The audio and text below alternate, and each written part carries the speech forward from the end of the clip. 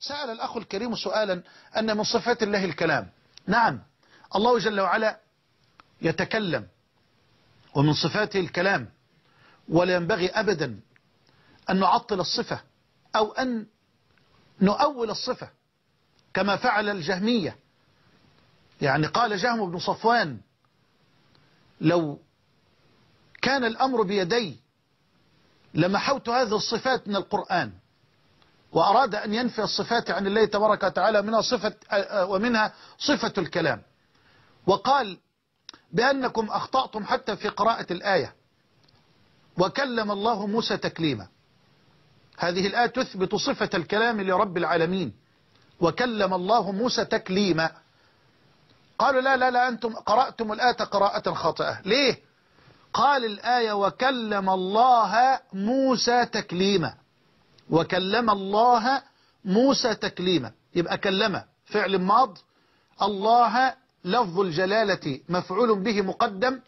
موسى فاعل مؤخر. تكليما مفعول مطلق مؤكد للفعل.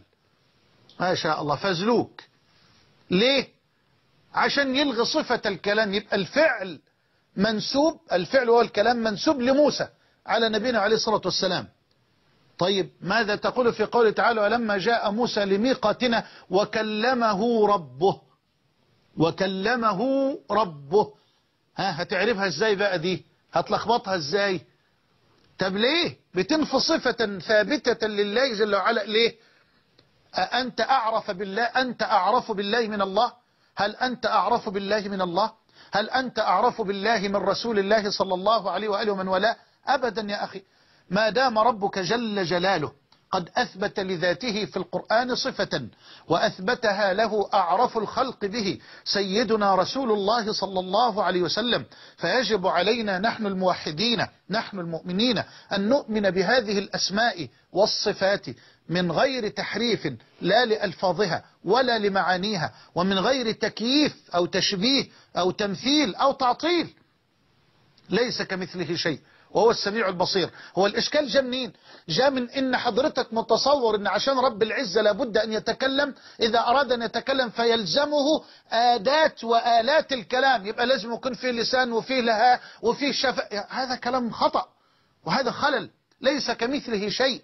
وهو السميع البصير. جل عن الشبيه وجل عن النظير وجل عن الكفي وجل عن الند وجل عن المثيل.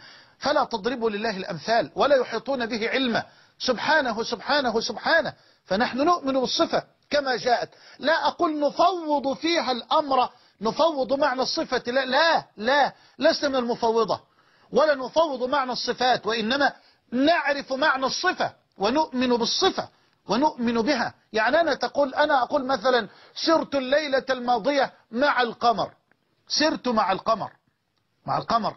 يعني هل هذا السير هذه المعية تقتضي المماسة والاحتكاك؟ اطلاقا.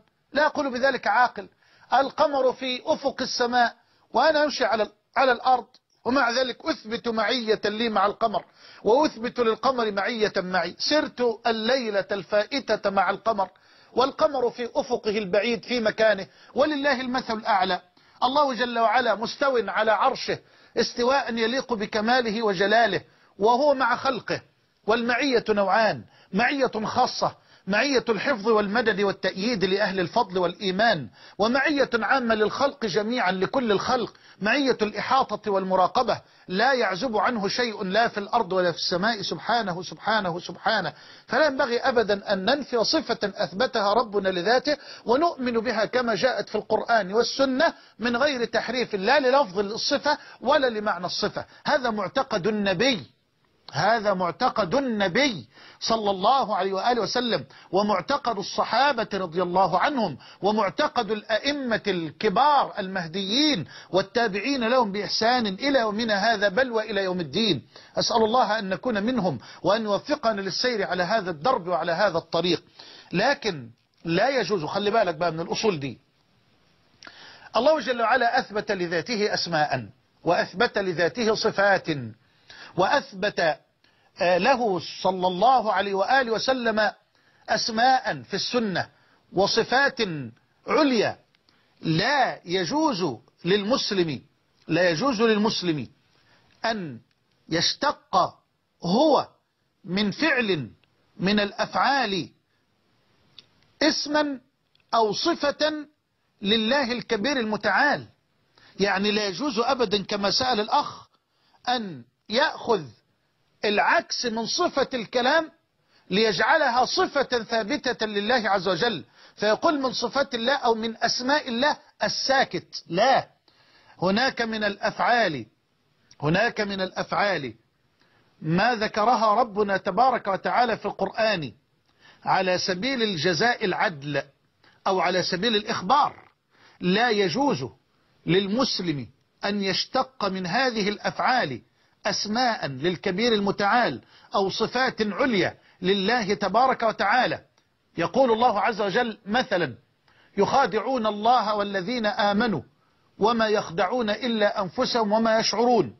أو يخادعون الله وهو خادعهم وهو خادعهم. فهل يليق أن أشتق من هذا الفعل وهو خادعهم؟ أو من هذا الاسم الفاعل هل يجوز أن أشتق منه اسما لله تبارك وتعالى؟ لا. أبدا. ويمكرون ويمكر الله. والله خير الماكرين. هل يجوز أن أشتق لله تبارك وتعالى اسما من هذه الآية فأقول من أسمائه الماكر؟ لا. هل يجوز أن أشتق من قوله تعالى نسوا الله فنسيهم أن أشتق من هذه الآية اسما لله وأقول الناس؟ لا. كيف تضع الناس والماكر والمخادع والساكت إلى جوار اسم العزيز الكريم الملك القدوس العزيز الحي القيوم. لا يا أخي لا يجوز. فهناك أفعال وردت في القرآن والسنة على سبيل الجزاء العدل من جنس العمل. أو على سبيل الإخبار لا يجوز لك أن تشتق منها اسما للعزيز الغفار ولا يجوز أن تشتق منها أيضا صفة لله تبارك وتعالى لا بطريق المضادة ولا حتى بطريق الاستخراج من هذه الكلمة أو من هذا الفعل. أيضا أود أن أضيف بأن أسماء الحق تبارك وتعالى متضمنة للصفات لا ينفك اسم عن صفته ولا تنفك صفة عن الاسم. ولا تنفك صفة عن الاسم. هناك من الخلق من يسمى بأسماء لكن ليس بالضرورة أن يكون متضمنا هذا الاسم لهذا المخلوق على الصفة التي يتصف بها هذا الاسم. ليس بالضرورة هذا. أما ربنا تبارك وتعالى إن سمى نفسه باسم أو سماه عبده ورسوله المصطفى باسم فهذا الاسم متضمن حتما للصفة فدلالة أسماء الله تبارك وتعالى حق على حقيقة الذات مطابقة وتضمنا والتزاما. دلالة أسماء الله تبارك وتعالى حق على حقيقة الذات مطابقة وتضمنا والتزاما. لو قلت بأن فلان اسمه مثلا سعيد ممكن يكون حزين والحزن مالي قلبه. ما يبقاش هذا الاسم متضمن لنفس الصفة التي يحملها الاسم ليس بالضرورة ليس بالضرورة على الإطلاق. كذلك ممكن واحد يبقى اسمه حنظلة وهو زي السكر يا أخي. زي السكر ما يبقاش طعمه مر ولا كلامه مر. ممكن واحد يبقى اسمه حليم وهو معفرط. والعكس فمش بالضرورة إنما لو ذكر الله تبارك وتعالى أن من أسمائه العليم فهو العليم. وهذا الاسم متضمن لصفة العلم. الحليم فهو الحليم وهذا الاسم لا تنفك أبدا عنه صفة الحلم. القوي هو القوي. ولا تنفك عن هذا الاسم أبدا صفة القوة. وهكذا وهكذا. أسأل الله سبحانه وتعالى أن يعلمنا وأن يبصرنا بالحق. إنه ولي ذلك والقادر عليه.